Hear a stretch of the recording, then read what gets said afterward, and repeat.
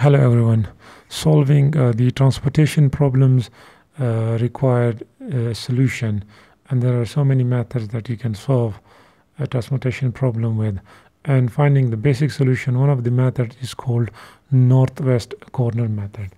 According to this method if you are given a problem uh, transportation problem uh, which you can see over here is that the cost of a ship um, transporting from origin to destination 1 the cost per unit is $5 and similarly from 1 to 2 is $10 and from origin 1 to destination 3 is $10 and these are all the costs given from different origins to different destinations. And then you're given the supply is 55 for the first one uh, origin for the second it's 80 and for the third is 75 and then in the first uh, destination the demand is 70 in the second it's 100 and in the third it's uh, 40 so if you add the supply it gives us 210 and if you add up the demands it's also 210 so these kind of problems are called um, balanced transportation problems. Now what the northwest corner method is if you can see from the the name is that it says that the northwest corner. So what is the northwest corner is the top left corner right? So you start from here. And it's this this method says that you give this cell at the top uh, left corner um, as much as possible uh, keeping in mind the supply and the demand. So we have a supply of 55 so how much we can put up here is 55 and we have to look and uh, look at the on the demand that if the demand is less than 55 we give here all of the 55 and we have left nothing here in the first origin.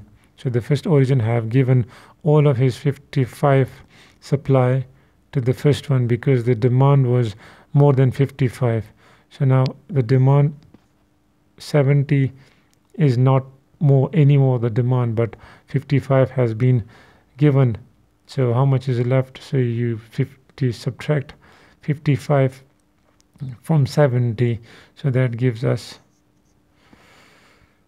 5 and 1 so if you add up that is 60 and so 15 is left right?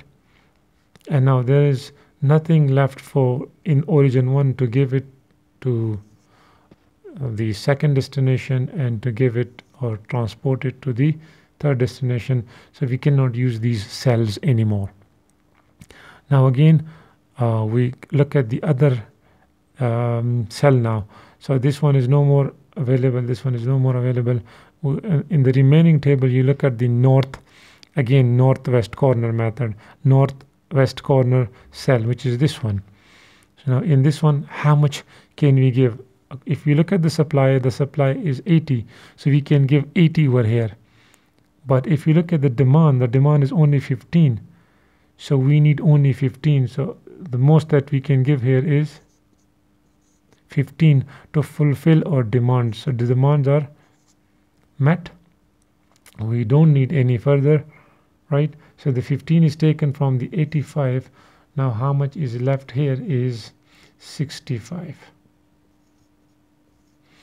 We have supply left 65 and the demand of the first one is completed it means we don't need anything from the third origin.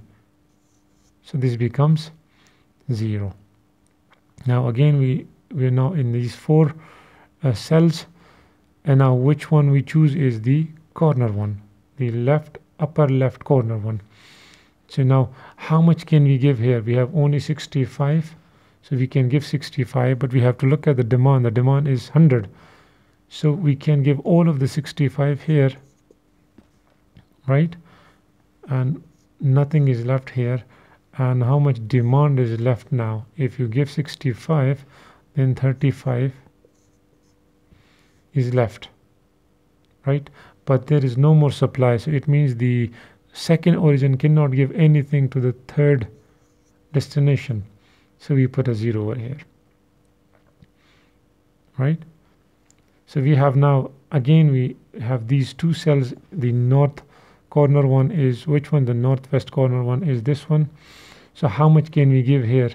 We have 75 we can give but the demand is only 35 so we give them only 35 to fulfill the demand.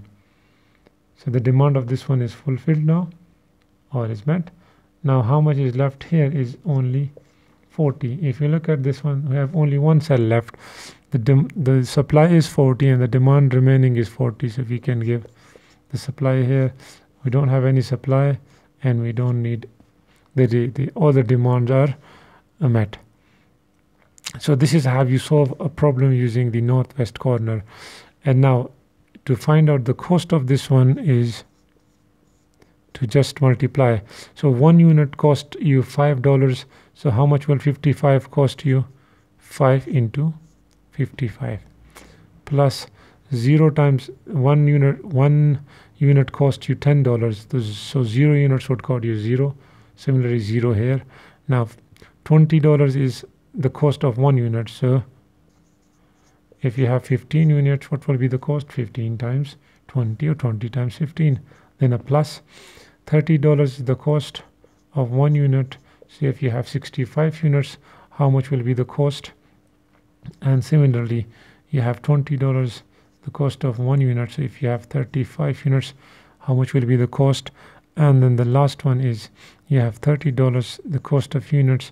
So if you have 40 units what will be the cost? So if you calculate them and find them then the cost that would be the cost. So you can calculate them 55 times 5 20 times 15 30 times 65 20 times 35 and 30 times 40 and add them up. This one this one this one this one and this one. When you add up and add them up you get the solution over here. Thank you very much